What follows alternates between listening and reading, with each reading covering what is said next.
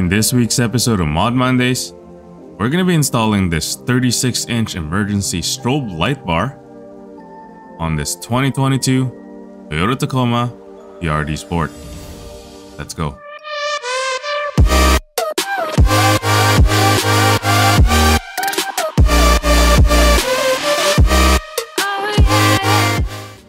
All the products in this installation are from Amazon and is aimed to add an emergency light bar to your Tacoma. I work in the construction field and I wanted a more attractive strobe light option instead of these common beacons. This comes in various color combinations, but I chose the amber color for my case. I'll link these in the description box below. The light bar came from LEJX store and was packaged in bubble wrap to avoid damage during shipping. Comes with this instruction manual, all the hardware you'll need for the installation,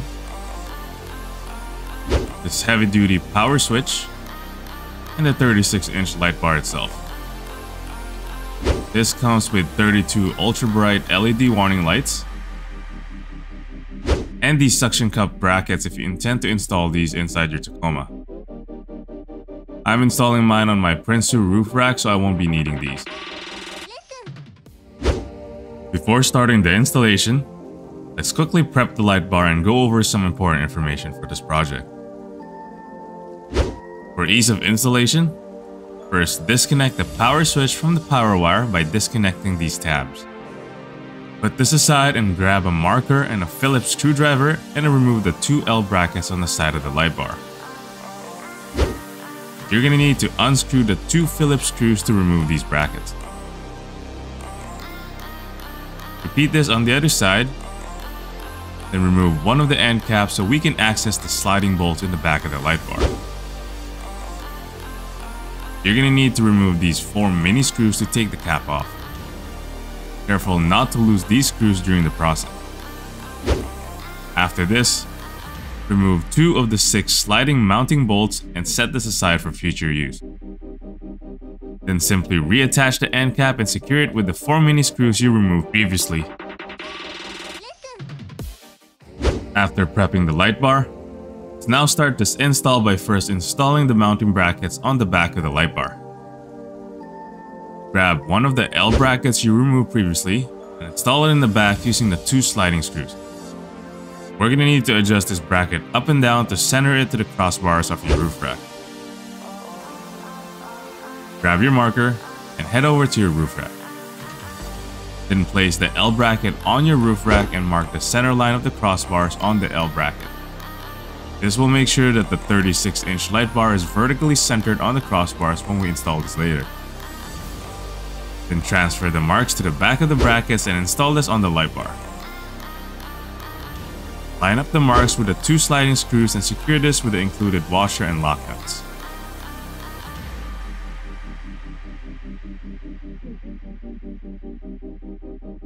After this, use a 5 16 inch socket and hand tighten this for a secure fit.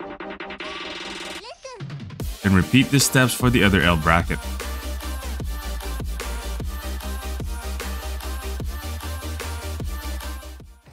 The next step in this installation is to install the 36-inch light bar on your roof rack crossbars. You're going to need a Phillips screwdriver and two 1 4 inch screws and washers. I'm using the extras that came with my Prinsu roof rack. Start by adjusting or adding a sliding T-nut on your crossbar tracks. We need this to secure the 1 4 inch screws to the roof rack. Grab your light bar and simply line up the mounting brackets with the sliding T-nuts. Then add the washer and the screw and use your Phillips screwdriver to tighten this. Please note not to tighten this completely as we'll need to adjust the light bar left or right on the next steps. Repeat this on the other side, then center your light bar. I use the end of the fourth light bar assembly and the middle of the Tacoma's third brake light as a guide to center this. After this is centered, lock the light bar into place by completely tightening the 1 4 inch screws we installed previously. When that's complete, untie the rest of the power cable and run this through the bottom of the roof rack. We'll cable manage this later. After installing the light bar on your roof rack, we'll now need to run the power wires from the truck's interior into the engine bay. If you haven't done this previously, you're gonna need a sharp cutter for this step. This is required so we can power our light bar. We need to pull this carpet back and around the cutouts and slice a small hole on the rubber grommet about the size of the wire that you're gonna run into the engine bay. Since I've installed other accessories before, mine already has a hole. Simply insert the wire in the hole and this should come out of the engine bay. Then open your hood and start pulling the slack out of the wire from the engine bay. We're gonna need to run this wire up to our roof rack through this plastic panel cover. All the way up to this corner panel here. Through this hole. Then run the wire through the side of this weather stripping and up to the roof rack below the crossbars. After this, simply reconnect the two wires back together ensuring the tabs click in properly for a secured fit.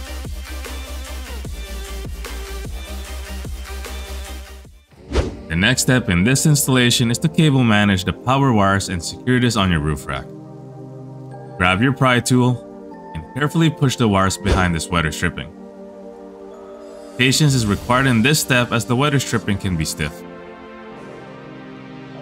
After this, grab zip ties and some snips and secure the wires using the holes on the side of your roof rack. When cable managing, Make sure that the wire connection is hidden below the crossbars for added weather protection. Then cut off the excess zip ties and complete the cable management.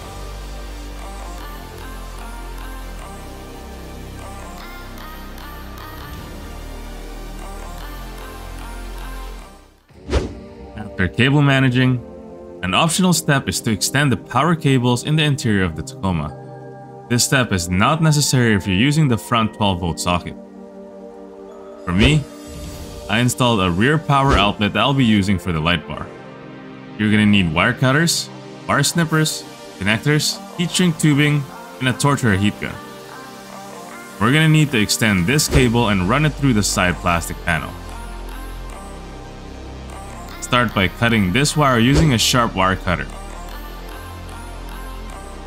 Then carefully strip the black wire to expose the three small wires inside.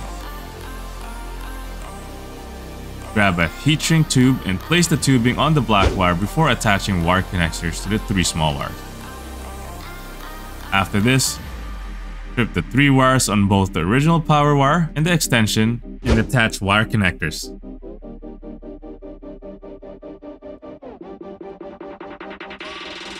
I'm using these solder seal wire connectors, which will allow for a secured connection as the heat will cause the ring solder to melt and connect the two wires together. Then use your torch or a heat gun to apply heat to secure the connection.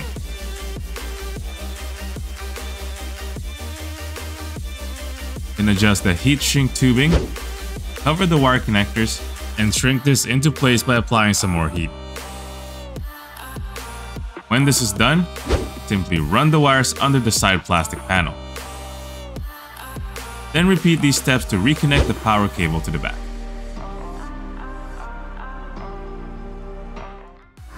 If you're enjoying this video so far, please smash that like and subscribe button to support the channel. The last step in this installation is to plug the power on the 12 volt socket and test the 36 inch light bar and its 13 strobe light flash patterns. Turn your truck to accessory mode, then plug the power switch onto your power source and simply switch it on. As you can see, the strobe light bar works great. As for its other patterns, here are the options. These are the 13 patterns and as you can see, it's bright, very versatile, with multiple directional options that can be used depending on your situation. This will be great for site visits, emergency breakdowns, and rescue situations. Try the patterns on and see what fits best for your situation and enjoy your brand new 36 inch strobe light bar.